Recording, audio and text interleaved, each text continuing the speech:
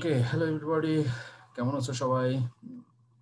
আজকে আমি যে টপিকসটা বলব সেটা হচ্ছে ইন্ট্রোডাক্টরি টু হেলমিনস আর সাথে হচ্ছে সিস্টোড তো ইন্ট্রোডাক্টরি টু হেলমিনস এর মধ্যে যে জিনিসটা আমি তোমাদের একটু আইডিয়া দিব medical importance of helminths forty five percent of total world population infected with helminths তো হেলমিনস এর ব্যাপারে বলা হয় যে এটা যেহেতু অনেক সময় অ্যাসিমটোম্যাটিক থেকে যায় লং টাইম যার ফলে দেখা যায় যে অনেকে এটা আর কি ক্যারি করতে থাকে। তো যার ফলে it is one of the most common infection যদিও এটাকে বলা হয় ইনফেস্টেশন নট ইনফেকশন ক্লাসিফিকেশনে বলা হয় যে তিনটা আর কি ক্লাসিফিকেশন যেটা আর কি cestode trematode nematode okay cestode trematode nematode এখানে হচ্ছে যে সিস্টোড যেটা, সেটা ইলংগেটেড ফ্ল্যাট সেগমেন্টেড থাকে। ট্রেমাটোড হচ্ছে ফ্ল্যাট লিফ লাইক নেমাটোড হচ্ছে cylindrical and elongated okay so আমি ট্রেমাটোড তোমাদেরকে আগে বলে দিয়েছি এবং হচ্ছে যে আমরা সিস্টোড এবং নেমাটোড বাকি আছে, আজকে তোমাদের সিস্টোডটা বলব।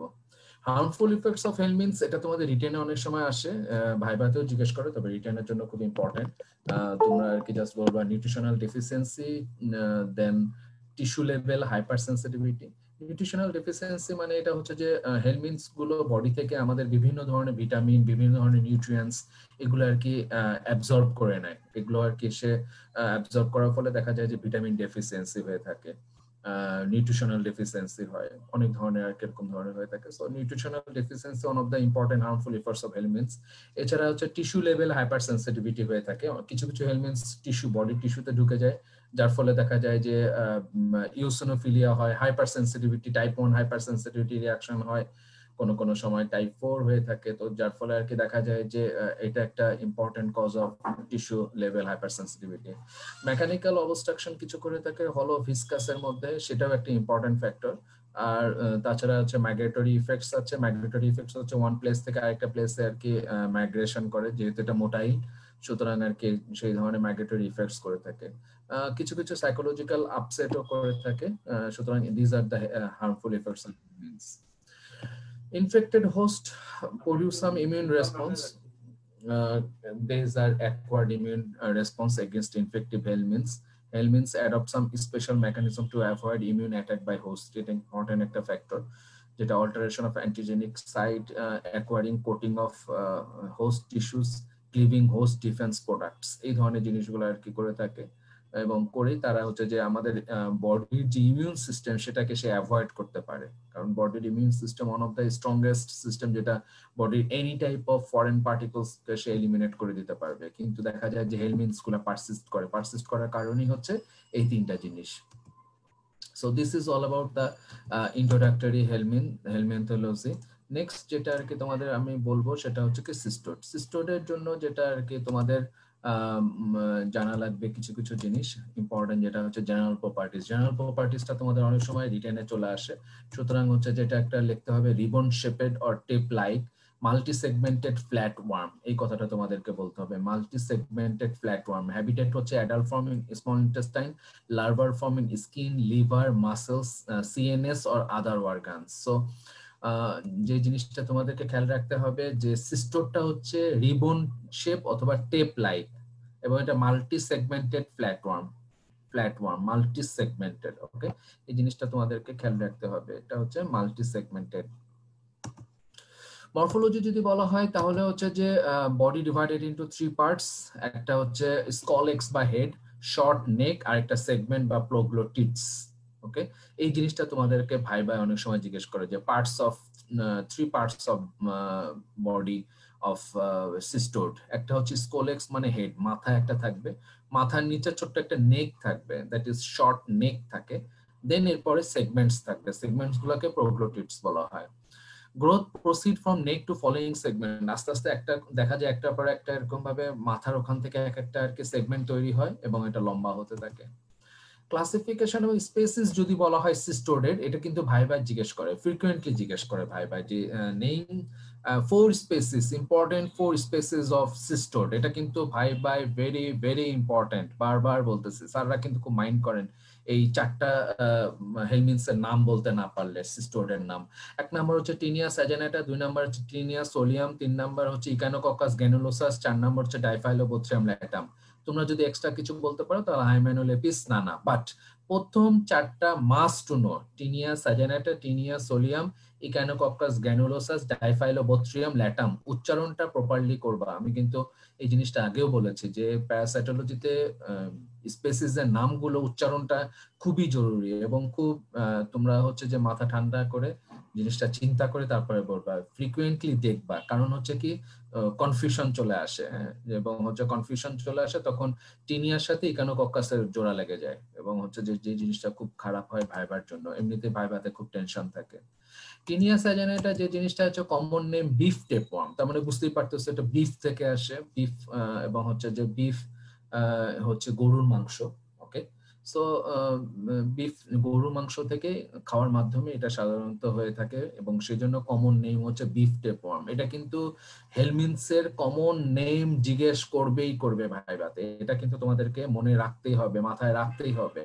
ঠিক আছে? Common name of Taenia saginata common name of Taenia solium common name of Echinococcus granulosus common name of Diphyllobothrium latum so এই জিনিসগুলোর কমন নেমগুলো তোমাদের জেনে রাখা খুব জরুরি ওকে অ্যাডাল্ট ফর্ম হচ্ছে tape like flattened segmented tape flattened segmented okay নেমাটোডগুলো cylindrical আর এই এই ধরনের যে সিস্টোডগুলো, এগুলো হচ্ছে টেপ লাইক ফ্ল্যাটেড এবং সেগমেন্টেড হার্মোফোডাইট এগুলো হচ্ছে হার্মোফোডাইট হয়ে থাকে কনসিস্টিং অফ স্কোলেক্স নেক এবং সেগমেন্টস যে কথাটা তোমাদেরকে আগে একটু আগে বলে গেছি যে ইন জেনারেল সিস্টোর তিনটা বডি পার্টস থাকে, একটা হচ্ছে স্কোলেক্স আর একটা হচ্ছে নেক আর একটা হচ্ছে সেগমেন্টস সুতরাং টিনিয়া সাজানেটার ক্ষেত্রেও সেম কথা প্রযোজ্য।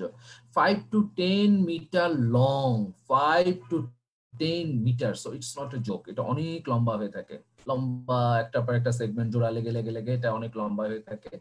এবং স্টুলের মধ্যে সেগমেন্টগুলো পাওয়া যায়। ইয়োলিশ কালার স্টুলের মধ্যে দেখা যায় সাদা সাদা সাদা সেগমেন্ট সুতরাং এটা স্পষ্টভাবে ডায়াগনোসিস সেখান থেকে করা যেতে পারে। সো লম্বা লম্বা এই হেলমিনস এটার ভিতর থেকে একটা পর একটা এরকম সেগমেন্ট ছিঁড়ে ছিঁড়ে চলে যেতে পারে। মোড অফ ট্রান্সমিশন যেটা বলতেছে infective form larval larva cyst of Taenia saginata যেটাকে বলা হয় Cysticercus bovis develops in the muscles of intermediate host that is cow and cattle এগুলো আর কি হ্যাঁ? মাসেলস অফ ইন্টারমিডিয়েট হোস্ট এটা আমরা মনে করো যে যদি বলি যে গরু মাংস খাব কিন্তু টিনিয়া সাজানেটার আমি লার্ভাটাকে আলাদা করে তারপর খাব। This is not possible this is not feasible কারণ এগুলো সব মাসেল ফাইবারের মধ্যে থাকে ওকে যার ফলে আর কি দেখা যায় যে এটা আলাদা করার কোনো সুযোগ নাই। যখনই এটা আর কি আমরা আন্ডার কুকড আনকুকড এরকম ভাবে মিট খাব বিফ সে তখনই আর কি আমাদের এরকম ভাবে চলে আসতে পারে। সো বলতেছে যে বিফ কন্টেনিং সিস্টিসার্কাস বোভিস তাহলে ইনফেক্টিভ ফর্ম যেটা larval cyst of Taenia saginata যেটাকে বলা হয় সিস্টি সার্কাস বোভিস বোভাইন থেকে বোভিস বোভাইন গরু, ঠিক আছে না? এই ধরনের কি বোভাইন থেকে বোভিস এসছে শব্দটা। ট্রান্সমিটেড হচ্ছে তাহলে বিফ খেতে হবে, যে বিফের মধ্যে সিস্টি সার্কাস বোভিস হতে হবে বাট এই বিফটা কিন্তু যে কোনো বিফ না eating partially cooked or smoked or pickled যেটা বিফ বলা হয় যে আমরা রাস্তাঘাটে বিভিন্ন শিক কাবাব খাই। শিক কাবাবগুলো যদি প্রপারলি কুক না করা হয়, তাহলে তার ফাইবারের মধ্যে সিস্টি সার্কাস বভিস থাকে, সেটা পেটে চলে যায়, পরবর্তীতে এই টিনিয়া সাজানাটা ইনফেকশন করে থাকে। ডায়াগনোসিসের জন্য বলতেছে যে আমরা স্পেসিমেন কিনবো স্টুল বুঝতেই পারতেছো। মেজরিটি ক্ষেত্রে দেখা যায় যে হেলমিন্স আমরা স্টুল নিই, কোনো কোনো ক্ষেত্রে স্টুল ছাড়া আমরা ব্লাড নিই, কোনো কোনো হেলমিন্স দেখার জন্য, কোনো কোনো হেলমিন্স আমরা পেরি পেরি অ্যানাল রিজনের আমরা হচ্ছে ওখান থেকে সব নিয়ে থাকি। বাট মেজরিটি হচ্ছে আমরা স্টুল নিয়ে আমরা এক্সামিন করে কনফার্ম করি যে this is the helminthic infection in in that case Taenia saginata specimen of school stool নেকেডায়ের মধ্যে হোয়াইটিশ সেগমেন্ট অন স্টুল স্টুলটা ইয়োলিশ কালার তার মধ্যে হোয়াইটিশ সেগমেন্ট খুব আলাদা করা যায় ইজিলি ছোট ছোট সেগমেন্ট থাকে। সুতরাং দেখেই বোঝা যায় যে এটা আর কি টিনিয়া সাইজাইনাটাতে ইনফেকশন হয়েছে। মাইক্রোস্কোপিক্যালি এক্সামিনেশন করলে আমরা এগ দেখতে পাবো। নেক্সট হচ্ছে যেটা টিনিয়া সোলিয়াম যেটার নাম হচ্ছে পর্ক টেপওয়ার্ম তাহলে টিনিয়া সাজানেটার নাম হচ্ছে বিফ টেপওয়ার্ম আর টিনিয়া সোলিয়ামের নাম হচ্ছে pork tapeworm please this is the common name সুতরাং তোমাদেরকে এটা মনে রাখতে হবে। পর্ক মানে হচ্ছে শুকরের মাংস বিফ মানে হচ্ছে গরুর মাংস। বিফ গরুর মাংস পর্ক হচ্ছে শুকরের মাংস ওকে এভাবে তোমরা মনে রাখবা। তাহলে বিফ টেপওয়ার্ম হচ্ছে বিফ খেলে হবে পর্ক টেপওয়ার্ম হচ্ছে পর্ক খেলে হবে, শুকরের মাংস খেলে হবে ওকে বাংলাদেশের মানুষ হচ্ছে মেজরিটি হচ্ছে Muslim ninety two ninety five percent Muslim so মুসলিমরা হচ্ছে যে বিফ খায়, গরু খায়, তাহলে কোনটা হবে? টিনিয়া সাজেনা এটা ইন্ডিয়াতে হচ্ছে মোস্ট অফ দি হিন্দু, সুতরাং তারা কি খায়? পর্ক খায়, সুতরাং হচ্ছে যে পর্ক যারা খায়, তাদের ক্ষেত্রে টিনিয়া সোলিয়াম দিয়ে ইনফেকশন হয়ে থাকবে ওকে সো তোমাদেরকে এই জিনিসটা মনে রাখতে হবে। আরেকটা হচ্ছে কি যে Taenia saginata solium more or equal মানে কোনো ধরনের ডিফারেন্স খুঁজে পাওয়া যায় না এক্সেপ্ট কয়েকটা পয়েন্ট সেই জিনিসগুলো আমি তোমাদেরকে তুলে ধরব। ক্লিনিক্যাল ম্যানিফেস্টেশন বা clinical effects of adult taenia solium infection similar to those cause by taenia saginata সুতরাং এটা খুব একটা ডিফারেন্স নাই। But they caused by larva cysticerci R different and dangerous okay cysticercus bovis হচ্ছে টিনিয়া স্যাজাইনেটার cysticercus cellulosae হচ্ছে taenia সোলিয়ামের ওকে সুতরাং তোমরা এই জিনিসটা মনে রাখবা this scolex of Taenia solium differ from that of the Taenia saginata in, uh, uh, in possessing an uh, anterior circle of sharply spined double hooks Uh, they are under uh, muscular control muscular control দিয়ে থাকে এবং four সাকার্স থাকে যেটা গাট ওয়ালের সাথে তারা হচ্ছে যে অ্যাডহেয়ার হয়ে থাকে। গ্র্যাভিড সেগমেন্ট থাকে এবং এই gravid segment taenia saginata solium দেখে আমরা ডিফারেন্সিয়েট করতে পারি এর ব্রাঞ্চিং প্যাটার্ন দেখে okay so branching pattern of the gravid segment এর আমরা হচ্ছে যে দেখেই আমরা আলাদা করতে পারব যে এটা অ্যাডাল্ট টিনিয়া সোলিয়াম না সাজানাটা এটা সেগমেন্ট দেখে। আর যেটা হেড দেখে আমরা সেখানে কিছু হুক দেখতে পারব আর কি, ঠিক আছে? সুতরাং এভাবে আর কি আমরা অ্যাডাল্ট ফর্মটাকে আলাদা করতে পারব। এগটাকে কখনো আলাদা করা যায় না যেটা টিনিয়া সাজানাটার এগ টিনিয়া সোলিয়ামের এগ এটা হচ্ছে স্টুল থেকে আলাদা করা যায় না। সো আমরা অ্যাডাল্ট ফর্ম দেখেই আমরা ডিফারেন্সিয়েট করব। আমরা যদি সেগমেন্ট দেখি, তাহলে সেগমেন্টের ব্রাঞ্চিং প্যাটার্ন দেখতে পারব গ্র্যাভিড সেগমেন্টের ব্রাঞ্চিং প্যাটার্ন আর হচ্ছে যে তাছাড়া আমরা হেডটা দেখেও আমরা হচ্ছে যে বুঝতে পারব স্কলেক্স দেখে। Life cycle of Tinium is similar to that of Tinia saginata, except that pig is the principal intermediate host. Okay, so Taenia saginata সোলিয়ামের ক্ষেত্রে জেনারেল সূত্র যেটা সেটাই হবে যে definitive হোস্টকে human is the definitive host clear আর হচ্ছে যে intermediate host হচ্ছে in case of Taenia saginata এটা হচ্ছে কাও ক্যাটল এই এই ক্যাটাগরির আর হচ্ছে যে টিনিয়া সোলিয়ামের জন্য হচ্ছে পিগ হচ্ছে intermediate host. Okay, because the gravid segments are less motile than those of Tinea saginata, they are usually eliminated in fecal matter, eliminated in the fecal matter. Remaining the fecal bolus increases the chance of infecting pigs. So এটা আর কি অন্যতম কারণ হচ্ছে যে tinea solium কীভাবে ইনফেকশনটা করে থাকে প্যাথোজেনেসিস হচ্ছে hooked scolex of Taenia solium may cause greater intestinal disturbance pain and inflammatory response that that of cause by Taenia saginata সুতরাং টিনিয়া সোলিয়ামটা বলা হয় যে এটা একটু বেশি রকমের ইন্টেস্টাইনাল ডিস্টারবেন্স করে থাকে। টিনিয়া সোলিয়াম লার্ভা ইনফেকশন যেটাকে আরেকটা নাম হচ্ছে সিস্টিসার্কোসিস এটা পটেনশিয়ালি ডেঞ্জারাস সিস্টেমিক ইনফেকশন এবং degree of damage depends on the site and number of cysticerci that develop okay তো বলা হয় যে টিনিয়া স্যাজানেটা না টিনিয়া সোলিয়াম, কোনটা বেশি ডেঞ্জারাস বলা হয় যে টিনিয়া সোলিয়াম বেশি ডেঞ্জারাস এবং হচ্ছে যে এটা সিস্টেমিক ইনফেকশন করে থাকে এবং ডিগ্রি অফ ড্যামেজ হচ্ছে নির্ভর করে সাইট এবং হচ্ছে যে নাম্বার অফ সিস্টিসার্কি ডেভেলপ সেটার উপরে। তোমাদের যদি ভাই ভাই জিজ্ঞেস করে তাহলে বলবা যে এটা হচ্ছে সিএনএস ইনফেকশন করে, যেটাকে বলা হয় নিউরোসিস্টিসার্কোসিস প্লিজ এই শব্দটা মনে রাখো নিউরোসিস্টিসার্কোসিস তোমরা কি নিশ্চয়ই সবাই সবাই পনির খেয়েছো চিজ পনির চিজ কাটলে বা পনির যদি চাকু দিয়ে কাটো, তাহলে দেখা যায় ছোট ছোট ছোট ছোট হচ্ছে ফুটা হয়ে ব্রেনের মধ্যে এই টিনিয়া সোলিয়ামগুলো হচ্ছে যে যখন নিউরোসিস্টিসাইসগুলো হচ্ছে পরবর্তীতে ব্রেনটা যখন ক্রস সেকশন করা হয়, তখন দেখা যায় ছোট ছোট ছোট ছোট হয়ে এরকম ভাবে আর কি মাইক্রোঅ্যাপসিস হয়ে যাচ্ছে।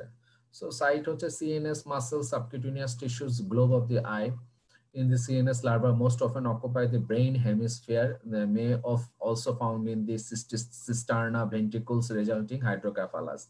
Infection in a specific site can induce epilepsy, mental dis disturbance or a meningeal syndrome. So এগুলো ধরনের কি জিনিসগুলো করে থাকে আমাদের এই জিনিসগুলো মাথায় রাখতে হবে টিনিয়া সোলিয়াম এই ধরনের জিনিসগুলো করে নিউরোসিস্টিসার্কোসিস করে প্যাথোজেনেসিস অফ সিস্টিসার্কোসিস যদি বলা হয় Taenia solium has ability to develop both adult and larva stage in human দুটাই করতে পারি if tinea solium eggs are ingested from the fecal and contaminated fecally contaminated water or by anus to mouth transfer of infective eggs they may hatch in the gut spread systematically causes human cysticercosis এরকম ভাবে বলা হয় human cysticercosis may also cause when reverse peristalsis induced by adult tinea solium in the gut returns gravid segment into the duodenum where the egg has and release invasive on, uh, on coast pairs. এগুলো just একটা তোমাদের pathogenesis যদি কখনো জিজ্ঞেস করে থাকে তাহলে হয়তো বা তোমাদেরকে এরকম বলার লাগতে পারে। আদারওয়াইজ তোমাদের খুব একটা বেশি জরুরি না। Human cysticercosis found commonly Latin America Mexican agriculture workers in California other western states এই সব জায়গায় সিস্টিসার্কোসিস এরকম ভাবে পাওয়া যায়। Human cysticercosis apparently cannot develop uh, from eggs of Tinea saginata. Okay. Diagnosis যদি বলা হয় diagnosis of adult worm infection similar to the, that of the uh, Tinea uh, saginata যেটা stool থেকে আমরা সেগমেন্ট দেখে আমরা হচ্ছে যে করতে পারি ডিফারেন্সিয়েট করতে পারি। আরেকটা যেটা বলা হয় যেটা, সেটা হচ্ছে আমরা সিস্টি সার্কোসিস যেটা আই মিন যেটা নিউরো সিস্টি সার্কোসিস সেটা রেডিওলজি ক্লিনিক্যাল অ্যাসেসমেন্ট অনেক সময় করা যেতে পারে, যেখান থেকে আমরা ডিটেক্ট করতে পারি।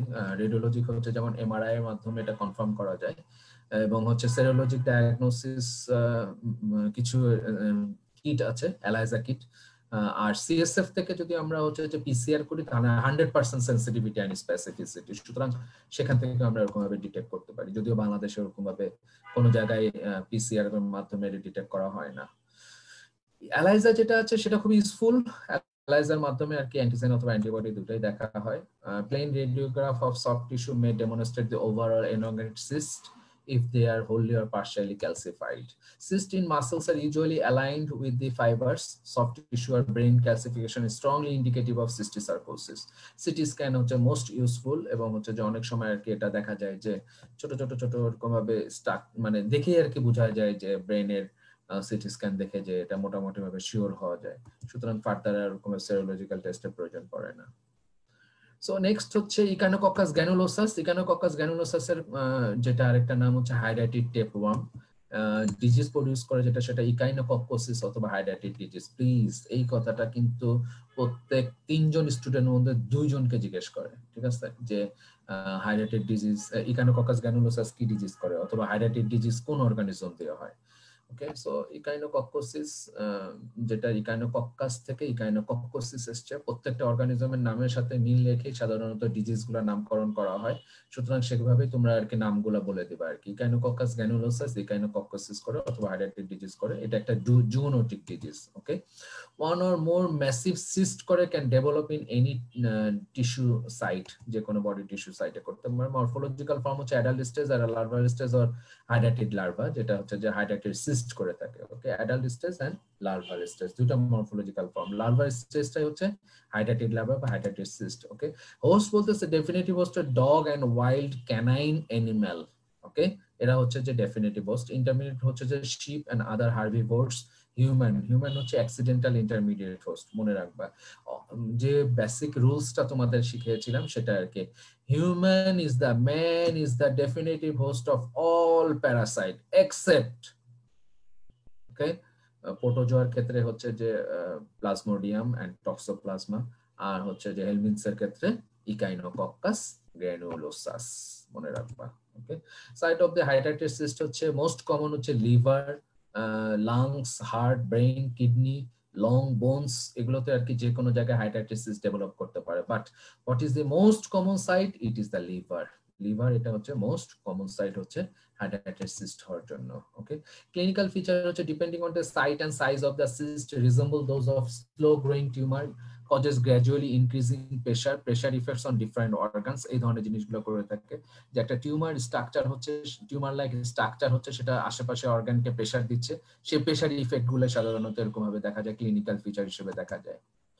যদি হাইটাইটিস স্ট্রাকচার হয়ে যায়, তাহলে এটা হচ্ছে অ্যানাফাইলেকটিক শকে চলে যাবে অ্যানাফাইলেকটিক রিয়াকশন হবে এবং টাইপ ওয়ান রিয়াকশন হয়ে যাবে প্রিভিয়াসলি অ্যাসিমটোমেটিক ইন্ডিভিজুয়ালের জন্য ওকে সুতরাং এটা হচ্ছে যে খুব ডেঞ্জারাস দেখা যায় যে আলট্রাসাউন্ড করে দেখা গেল একটা হাইড্রাইটেড সিস্ট আছে এবং যে কেউ যদি ভুলবশত একটা সিরিঞ্জ নিয়ে নিডিল নিয়ে প্রিক করে অ্যাসপিরেট করার জন্য, সেখান থেকে যদি ফ্লুইড বের হয়ে যায়, পরবর্তীতে এক টাইপ ওয়ান হাইপারসেন্সিটিভ রিয়াকশন হবে এবং পেশেন্ট আর কি মারা যাবে। সুতরাং be careful about that okay আল্ট্রাসাউন্ডতে মোটামুটি মোর লেস কনফার্ম করে দেয় যে এটা হচ্ছে আইডার্জি সিস্ট নাকি এটা হচ্ছে যে অন্য কোনো অ্যাপসেস লিভার অ্যাপসেস স্ট্রাকচার যদি বলা হয় অ্যাডাল্ট ফর্মে রিলেটিভলি মাইনুট এবং less than one centimetre long হয়ে থাকে থ্রি টু ফাইভ সেগমেন্টস থাকে scolex has four suckers one growing segment থাকে আর one to two gravid segment with hundreds of egg থাকে। সুতরাং এভাবে হচ্ছে যে অ্যাডাল্ট ফর্মের স্ট্রাকচার হয়ে থাকে। এই স্ট্রাকচারটা অনেক সময় অ্যাডাল্ট ফর্মের স্ট্রাকচারটা অনেক সময় আর কি তোমাদেরকে ভাই ভাই জিজ্ঞেস করে থাকে, ওই জন্য তোমরা এটা খেয়াল রাখবা। হাইড্রাটিস যেটা স্ট্রাকচার সেটা আর কি তোমাদের ভাই ভাই আসে রিটেনেও ভাই ভাই জিজ্ঞেস করে রিটেনেও আসে। এটা হচ্ছে slow growing with laminated sheath surrounded by fibrous reactive tissue of host okay যে আশেপাশে যে টিস্যুগুলো আছে সেগুলো রিয়াকশন করে ফাইব্রাস টিস্যু কনভার্ট হয়ে যায় এবং হোস্ট এরিয়া আর কি, এবং পরবর্তীতে ওটাকে একটা সারাউন্ডেড করে থাকে, ঘিরে রাখে। Fluid filled with a germinative inner lining একটা ইনার লাইনিং থাকে জার্মিনেটিভ ওই ইনার লাইনিং দিয়ে এটা আর কি একটা ফ্লুইড থাকে। ঠিক আছে? Scolex budded off into lumen from the inner layer scolex মানে যেগুলো হেড মাথা যেগুলো বের হয়, সেগুলো ইনার লেয়ার থেকে তৈরি হয়। As the scolex in the hydrated fluid resumes sand grains বালু কণার মতো মনে হয়। সো দিস আর কল হাইড্রেটেড স্যান্ড এটা তোমাদের লাল কালিতে দাগায় রাখছে এই কারণেই যে এটা তোমাদেরকে একটু মনে রাখতে হবে। দিস বানান এখানে একটু ভুল হয়ে গেছে। তো সো হাইড্রেটেড স্যান্ড যেটা, সেটা আর কি তোমাদেরকে খেয়াল রাখতে হবে যে হাইড্রেটেড স্যান্ড ভাই ভাই জিজ্ঞেস করে what is hydrated sand okay even তোমাদের বলতে পারে what is the composition of hydrated cyst তো হাইড্রেটেড সিস্ট হচ্ছে হাইড্রেটেড স্যান্ড হাইড্রেটেড ফ্লুইড এগুলো নিয়ে আর কি তৈরি। হাইড্রেটেড স্যান্ড কি? স্কলেক্স যেগুলো আর কি ব্রুট ক্যাপসুল স্কলেক্স এগুলো যখন তলানির মধ্যে জমা হয়ে থাকে, সেগুলোকে হাইড্রেটেড স্যান্ড বলে। সুতরাং তোমরা এই ধরনের জিনিসগুলা মনে রাখবা। লাইফ সাইকেল বলতেছে eggs passed by dog ingested by sheep or other herbivores or by man who have close contact with the dog life সাইকেলটা এবং এই লাইফ সাইকেলগুলো হচ্ছে যে কয়েকটা অ্যানিমেলের মধ্যে হয়ে থাকে ডগ আর শিপ এই দুটা সাইকেলটা হচ্ছে সবচেয়ে অপটিমাম ওয়ান হ্যাঁ? হিউম্যানটা তো অ্যাক্সিডেন্টাল যেটা আগে বলা হয়েছে। তো ডগ শিপ সাইকেল এটা অপটিমাম আদার্স কি আছে? ডগ ক্যামেল খেয়াল করো, কুকুরের সাথে ক্যামেলের ওকে উটের। Dog, horse, wolf, moose, wolf অর্কিওটো and deer. ঠিক আছে? এই ধরনের একটা সাইকেল নিয়ে লাইফ সাইকেলটা পাস করে থাকে Echinococcus granulosus within the sheep or or human intermediate host egg hatch oncospheres penetrate the gut migrate করতে থাকে দেন আলটিমেটলি ফর্ম করে। ওকে এটা অনেক সময় তোমাদেরকে জিজ্ঞেস করে ফেলে তোমরা জিনিসগুলো খেয়াল রাখবা।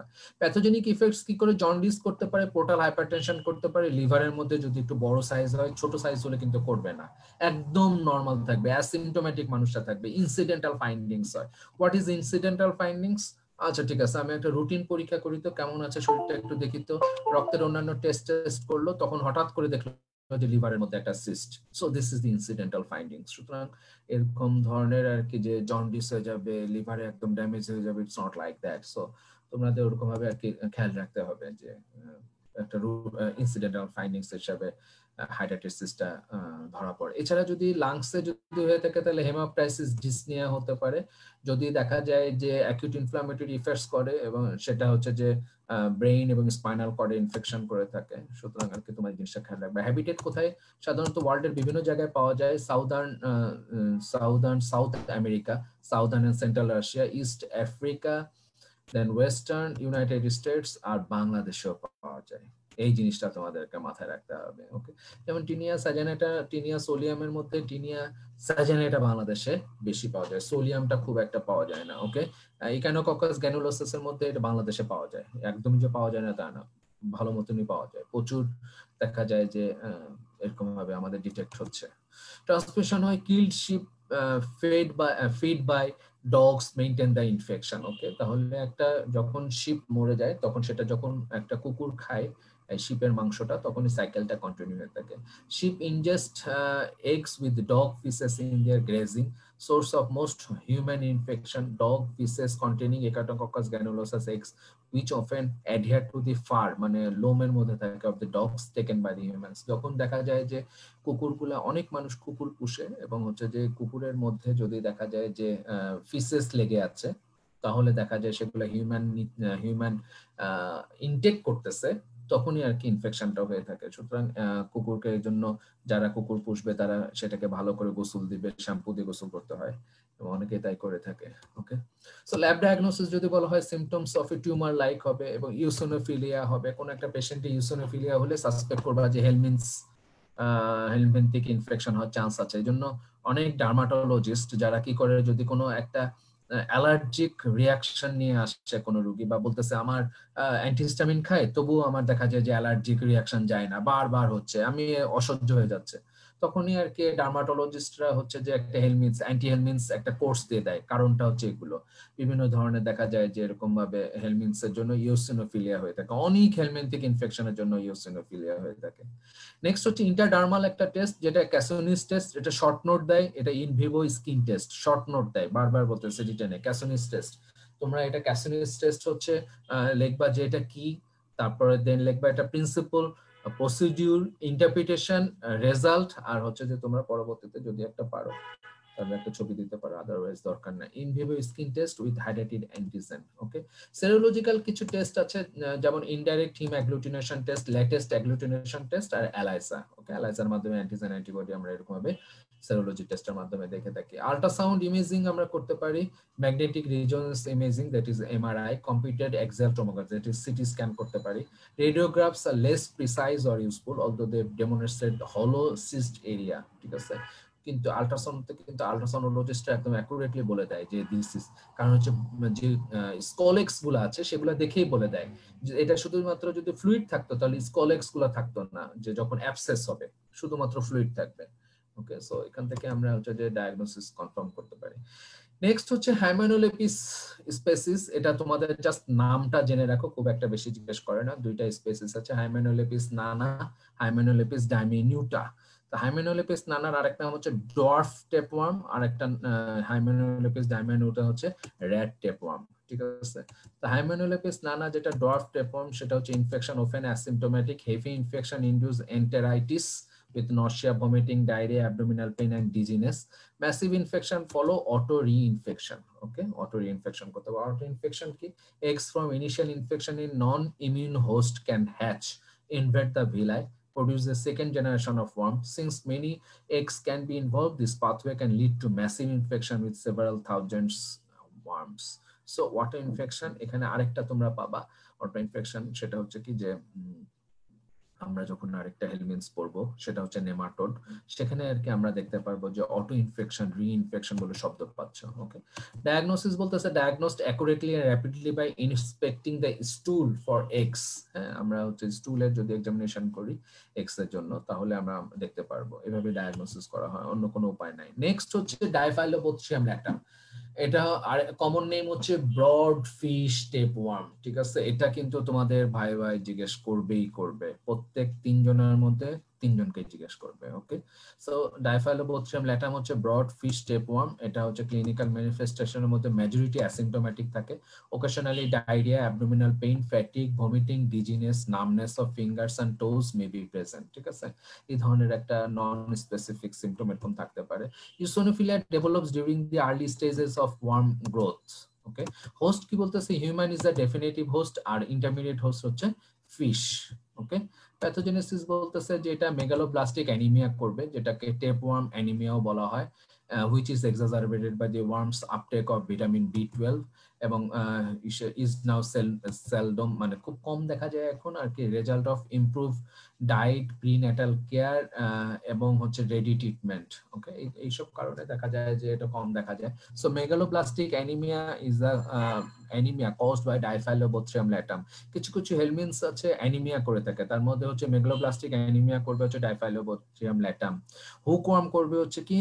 মাইক্রোসাইটিক হাইপোক্রমিক অ্যানিমিয়া তোমরা এই কথাটা কিন্তু মনে রাখবা, ওকে? কেন করে? সেটা তোমরা মেগালোব্লাস্টিক অ্যানিমিয়া কেন হয়? ভিটামিন বি টুয়েলভ ডেফিসিয়েন্সির জন্য। এই হেলমিনসটা এরকম ভাবে vitamin B twelve deficiency absorption হতে দেয় না। যার ফলে দেখা যায় যে এটা এরকম ভাবে ভিটামিন বি টুয়েলভ ডেফিসিয়েন্সি হয় বা মেগালোব্লাস্টিক অ্যানিমিয়া ডেভেলপ করে, okay? Reinfection is also common একবার ইনফেকশন হওয়ার পর কোনো ইমিউনিটি ডেভেলপ হয় না, যার ফলে রিইনফেকশন হয়ে থাকে। ডায়াগনোসিসের ব্যাপারে বলতেছে যে ovoid operculated eggs passed in the abundance in the human stool are diagnostic সুতরাং আমরা এভাবে একটা এগ দেখে আমরা ডায়াগনোসিস কনফার্ম করে ফেলব স্টুলের মধ্যে এবং সেই অনুযায়ী আমরা বলতে পারব যে this patient is infected with Diphyllobothrium latum okay so this is all about the cestode and end of this today's class so তোমাদের সাথে ইনশাল্লাহ আবার হয়তো বা নেক্সট ক্লাসে দেখা হবে। তখনকার পর্যন্ত আল্লাহ হাফেজ।